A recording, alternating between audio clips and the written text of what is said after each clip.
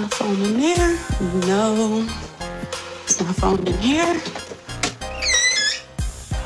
No. Kind of in a rush a little bit. I'm super late. My ass done overslept because I'm super exhausted. So much going on. I am picking up Martel from the halfway house today, and my man is finally coming home. He's been at the halfway house for two months. And this release is definitely different from the prison release. He, he, he has come a long way in getting himself together.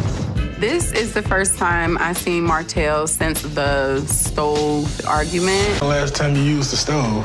Yesterday. Well, you should have cleaned it. Bitch, I lived lives for 13 damn years, and you want to shade me? And I am really hoping that things go a lot different this time. I'm not interested in a drama. I'm sure he's not interested in a drama. So I was supposed to be there at 10 o'clock. It's now 10:20, and I won't get there until 10:38. There will definitely be some makeup sex going on, and it's so funny because it's our first like actual physical interaction where we could actually have makeup sex. So I'm looking forward to it. I really hope he's not mad. Okay, I see him. I see him. I see him. If I know him just a tad bit, I know he's pissed. Because I probably would be pissed too.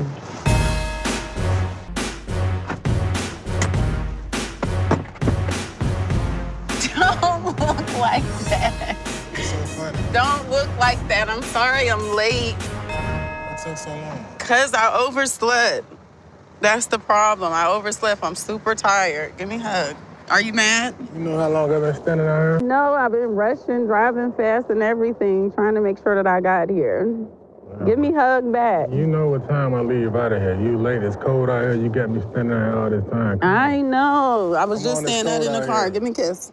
Hurry up. It's cold out here. Thank you. Well, I'm excited to um leave the halfway house, you know, for good. You want to drive? Yeah, definitely. But it's disrespectful for anybody to be late to any kind of meeting.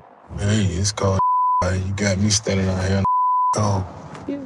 You did? Did you freeze over? What do you think? No. I want to do breakfast. So what do you want to do today? After we eat. I want to go to a strip club. I want to go give me a bottle. Do you think we should go to a spot that does breakfast and have like a variety of things that we can eat? Because I do know a spot. Yo, Hey, what's happening? Gonna be there at them? well, oh, it's gonna. I'll be there at eleven thirty. Cause I'm just leaving from out here a whole hour with my late, dog. You know, man, it's all good. All right, that's a bet, bro. Finna get ready to go in and run this barber shop real quick. Want to eat? But I want to see my barber, but I ain't seen him in a long time. That's my dog. I don't need a haircut. I got my hair done. I'm doing my priorities now. You're always doing your priorities. Damn right. I am beyond pissed. The fact that Martel didn't consider me today, that's a problem. And she's staying in the car now. She ain't coming in, just me. Okay. I don't have to do what you tell me to do. You don't tell me I can wait in my car when my car is the thing that got you here. Like, no. I'm tired of the lack of respect around this mother. I'm tired of it. I'm gonna get my hair cut. Y'all figure that out. 保持一定